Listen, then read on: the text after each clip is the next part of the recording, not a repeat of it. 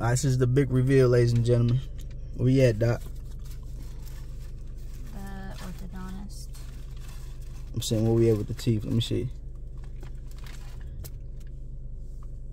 How's it feel? Uh, I guess it kind of feels. Does it hurt? Like you bleeding a little bit. Let me see again. That's my gums. I'm bleeding.